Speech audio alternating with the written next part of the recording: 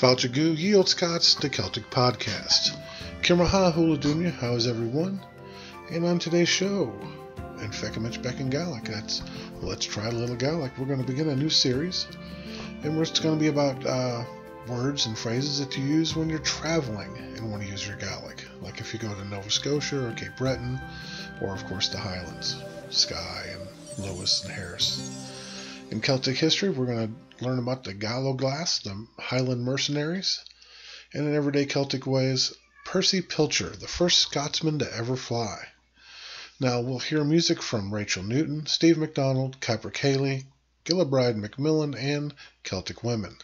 And as always, it's a wee bit of Irish trivia to test your knowledge to start us off. What is meant by the term keening?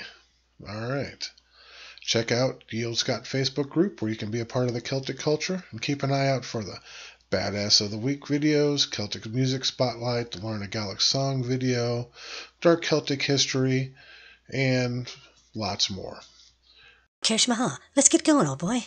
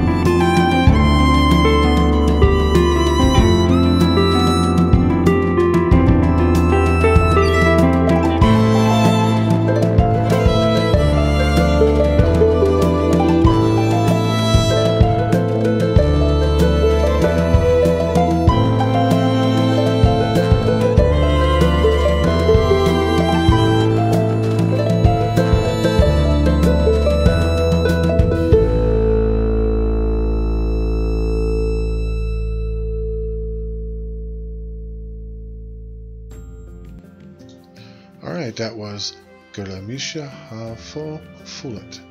That means I am sorrowful. It's by Rachel Newton. And now it's time for Feuchamaich Beagan Gaelic. Let's try a little Gaelic. I am not an authority on the Gaelic language, I just love learning it. I struggle like almost everybody else. I want to help though. What I teach comes right from well respected teachers, so I hope you find it interesting, informative, and fun. Now, I always display on the screen what I'm discussing, so here we go. You can follow along. Now, during the next 13 segments of Feuchamaich Beagan Gallic, we'll concentrate on travel and the words and phrases that come in handy while traveling to Gallic speaking parts of the world. With COVID, hopefully with the vaccine and everything, and it'll uh, lighten up the restrictions, and soon we'll be able to travel freely back to Scotland and enjoy all the great things there. But even though today I'm going to bring you just some basic uh, words and phrases. You know, just stuff to kick back in the in the learning Gallic. Stuff you're gonna you got to know. Uh, some of you might know it, some of you might not. All right, but it's going to get a little more advanced as we go through the next 13 weeks, and we're going to hit on a bunch of different subjects. You know, shopping, money, you know, what to do if you get in trouble, that kind of thing. Now, going through the beginner's course will help you along the way. So, if you haven't done that, you might want to go to Ye Olde Scot Facebook group and check out the free beginner's Gallic course you can download. Now, um, I even uh, have went through the course, the beginner's Gallic course on the Facebook group, uh, on my podcast, my weekly podcast, and I did that starting back in May fifteenth, twenty twenty. So, if you want to go back and listen to that, you can do that as well. All right, let's get going basic Gallic words and phrases. Now watch for the informal, formal versions of the same word. Now, informal is when you're speaking to a child or a friend, and formal is to a group or a person of older than you or authority. So, let's go. Hello. Hello is hello. How are you? Kimraha'u or Shiv. I always give you the informal first, so it's Kimraha'u to a child, Kimra Shiv to an older person. Okay. Hagama, Tapalet. That's fine, thank you. Or Hagama Tapalev. All right. What is your name? Jayantana Jayantanamaorsht or Jayantana Jayantanamaharov.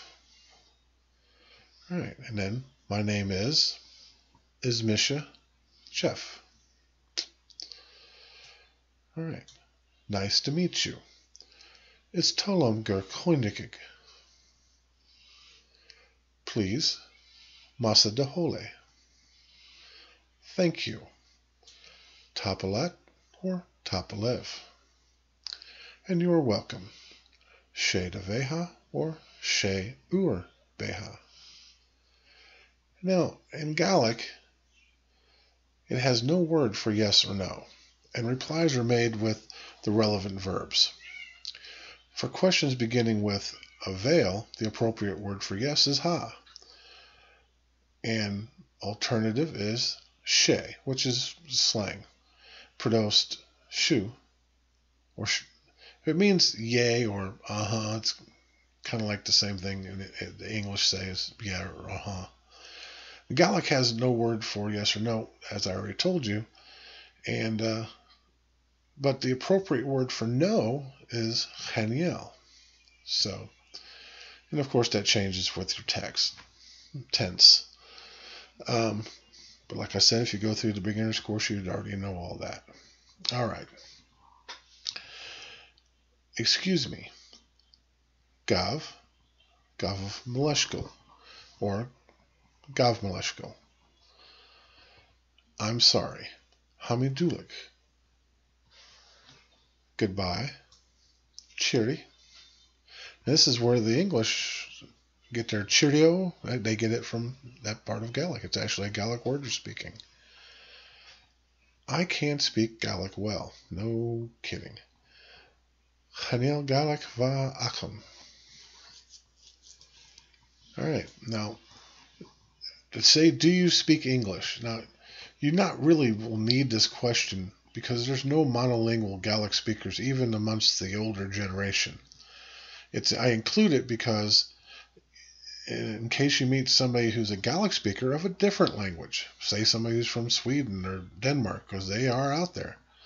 So you might need this. And the informal is avail berla akif. I'm sorry, avail berla akit. And the formal is avail berla akiv. Okay. Now that is an example of a question in the affirmative. And if you were going to answer yes, you would say ha berla akum. I have English. All right. Help. Kujik or Kujikiv.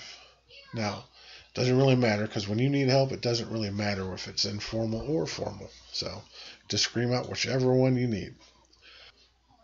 Good morning. Matin va.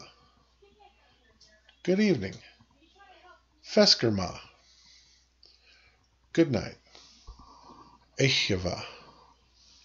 Sleep well. Chadal Guma or Chadliv Guma. I don't understand. Heniomia Tukshin. And the very last one, which is probably the most important, where's the toilet? Kachavel and Tybeck. Uh,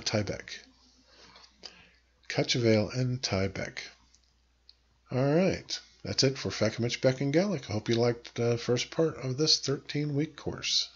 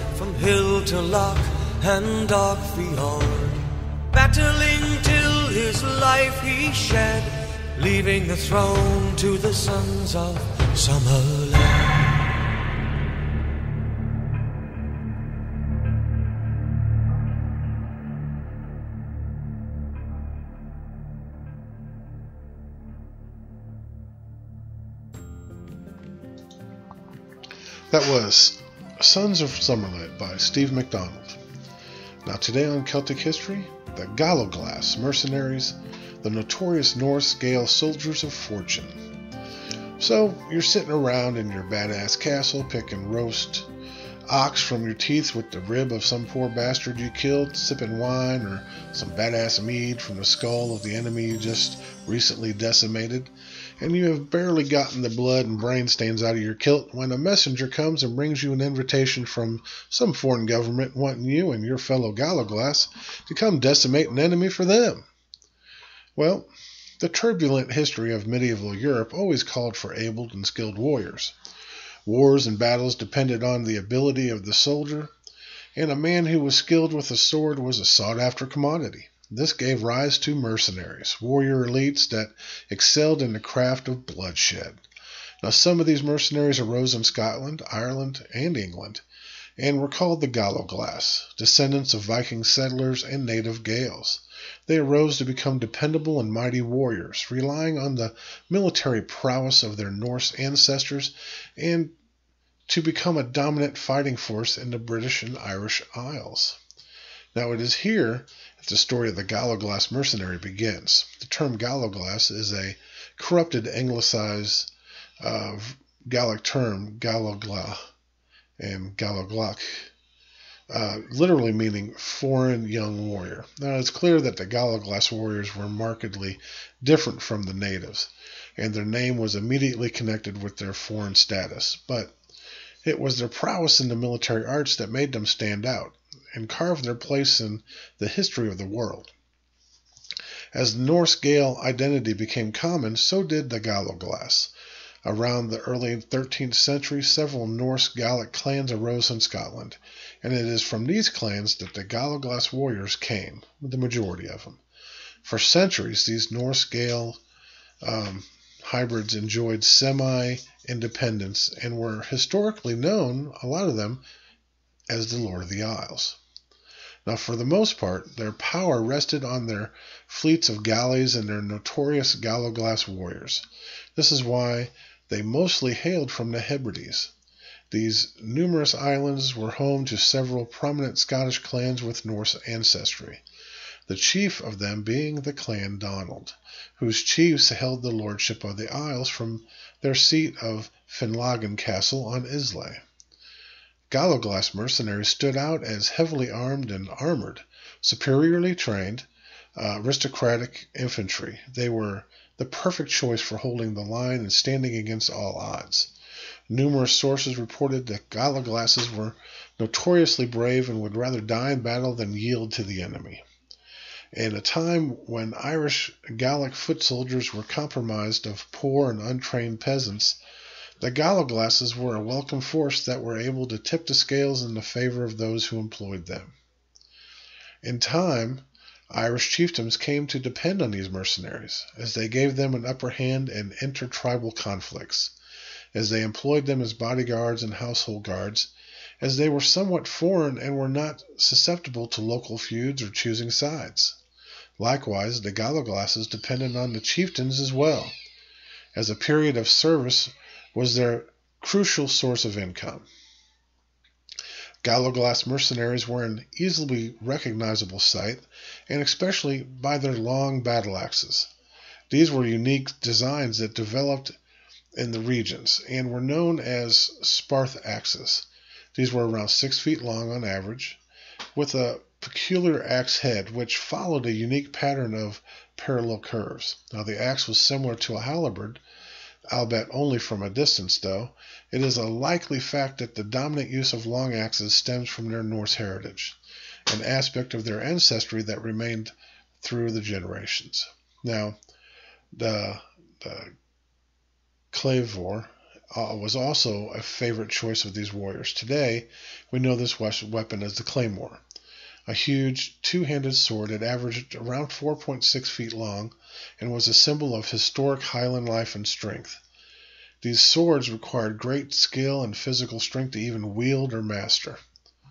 All right, between the 13th and the 16th centuries, the Galloglasses were the prominent warrior force of both Ireland and Scotland and formed the backbone of the Irish military. Now, estimates say that around 500,000 Galloglass warriors fought in various locations during this period. They were a feared force that excelled in close combat. With superior infantry tactics, they were also known for their ferocity and brutality and they made for a fierce sight in battle. Tight rows of chainmail clad men would hack their enemies apart with the long hafted battle axes or claymores. And as their importance increased, some Galloglasses became established veterans, and some even owned land. These warriors had a personal uh, retinue, similar to a, normal, a Norman knight. A Galloglass warrior of prominence was always accompanied with two Kern warriors and a young horseboy. A Kern was a light infantryman and uh, lightly armed and mostly unarmored. Now these young men acted as squires of sort and would carry weapons and attend to the warrior's needs. In battle, the Kern supported the Galloglass's warrior, usually by way of pull weapons from the rear. Now the horseboy would also have had to, you know, had a role in battle sometimes armed with bow and arrows or with war darts, kind of a giant arrow. Um, but the Galloglass were the true image of men resigned to war and war only. They were the true mercenaries, they uh, living only to fight. They would come to depend on bloodshed and, and became the only thing they know. We can partially understand this high dedication to warfare by examining their home, the Hebrides. In these rocky, windswept islands, life is a toll.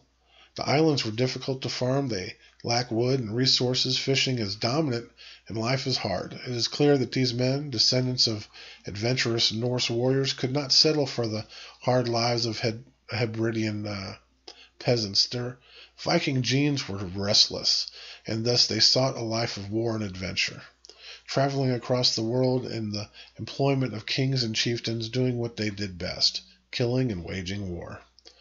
Now, true soldiers of fortune, these mercenaries never sh- uh, shied away from warfare. They would lend their axes to any man who paid sufficiently.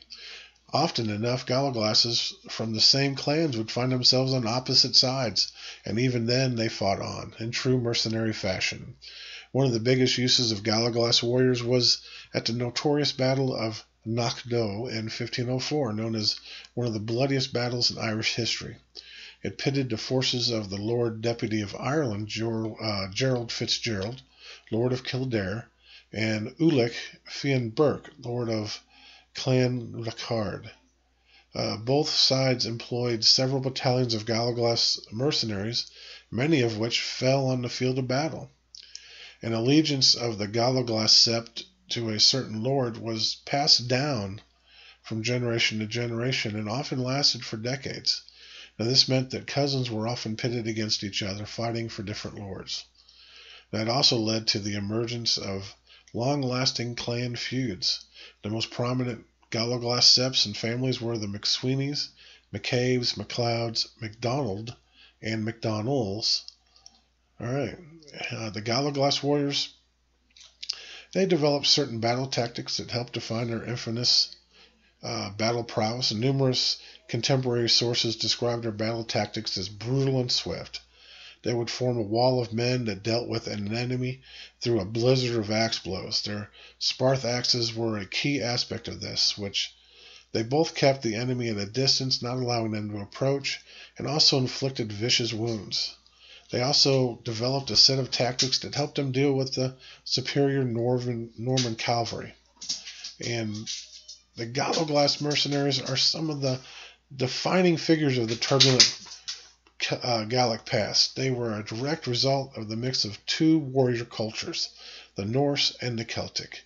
The hard lives in Ireland and Scotland were the perfect climate for the warrior culture to develop, and alas, with the numerous conflicts that ravaged these lands throughout their histories, there was never a, a lack of work for these soldiers of fortune, and so they became the very fiber of Gallic identity.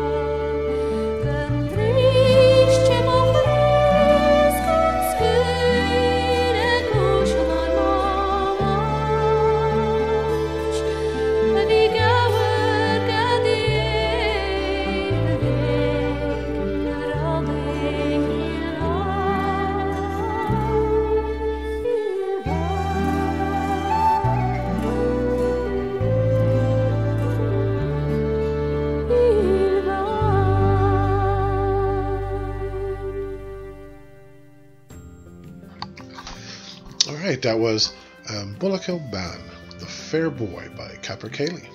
Now it's time for Everyday Celtic Ways. Today we're going to talk about Percy Pilcher, the first Scotsman ever to fly. Now, Scottish aviation pioneer Percy Pilcher could have been the first person to ever fly.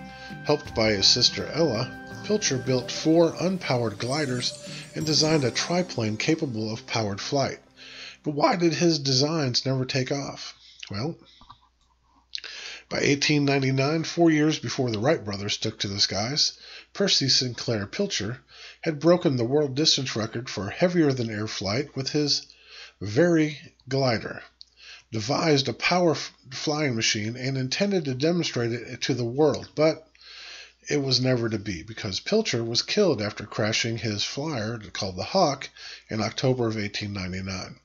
His designs for powered flight were never tested until Pilcher's designs for a powered triplane were tested during a BBC Horizons documentary in 2003 with some modern safety modifications. It flew.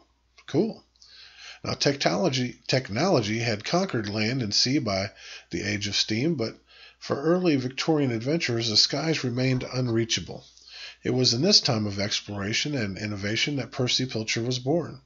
After a childhood spent in England and Germany and a period in the Royal Navy as a cadet, Pilcher moved to Glasgow in 1887 to serve an engineering apprenticeship with the shipbuilders Randolph, Elder and Company of Govan. This was to be the start of his love affair with flight. Now, by 1890, Pilcher was taking classes at University College, London, and published uh, articles on the art of gliding. He returned to Glasgow a year later to lecture on naval architecture and engineering, although his main focus remained the pursuits of the skies. With his sister Ella Pilcher, um, he would spend the next eight years making a detailed study of gliders and planes. During this time, he corresponded with leading aviation pioneers of the day, including German hang glider Otto Lilienthal. Now, these exchanges inspired him to build four gliders, named the Bat, the Beetle, the Gull, and the Hawk. Now, while the Hawk is the most famous of Pilcher's flying machines, it was not the first to soar. That honor belongs to the Bat which Pilcher tested at Cardross near Helensburgh during 1895. Now, with the Bat, he became the first person in the United Kingdom to make repeated flights in a contraption that was heavier than air.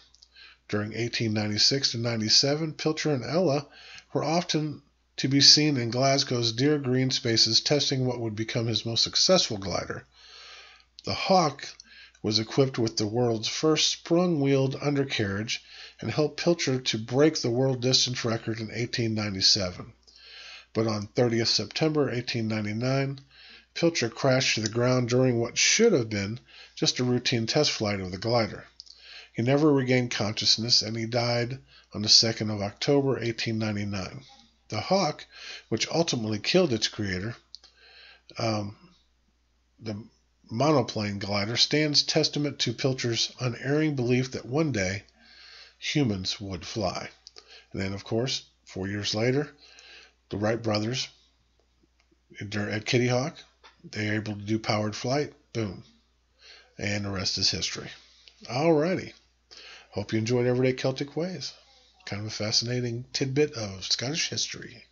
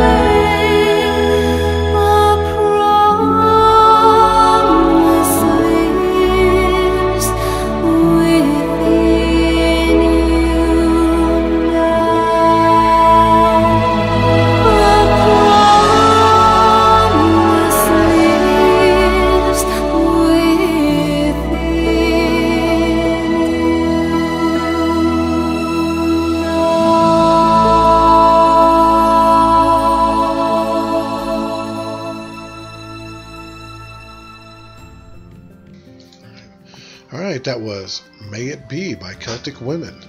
Well, that's it for today's show. I hope you liked it. I'm trying to keep it interesting, informative, and fun while showing you the beauty of all things Celtic. Top 11 Herichin. But now, before I let you go, the trivia question answer. When women, family members of in Ireland, they would cry and wail over a relative who had died, it's called keening because the loss is so much to bear uh, for some, and it, it makes them inconsolable. All right, and it kind of became a, a trait of of grieving. All right, remember to check out Ye Olde Scot uh, YouTube channel, Learn a Gaelic song videos, Celtic Badass, Music Spotlight, the podcast videos, Speaking Our Language, Dark Celtic History, and tons more. And my Facebook group, where you can give me your insights and inputs on all things Celtic. All right, Mar sin leibh an-dràsta, bye for now. I will let you go with a song. Fimu Arisht, You Have to Say It Again by Gillebride Macmillan.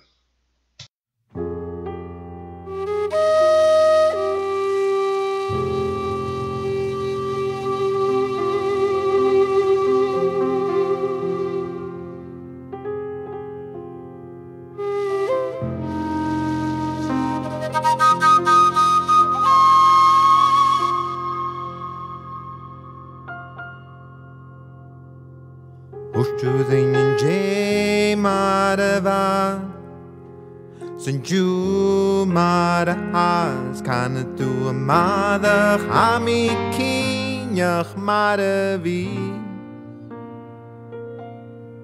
Arranhester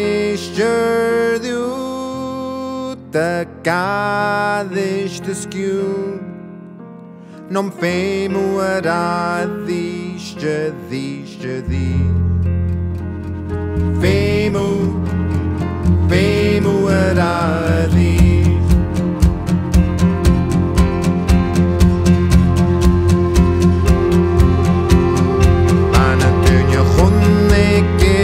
hau Y gysio ma'n chawn Mydde hi'n das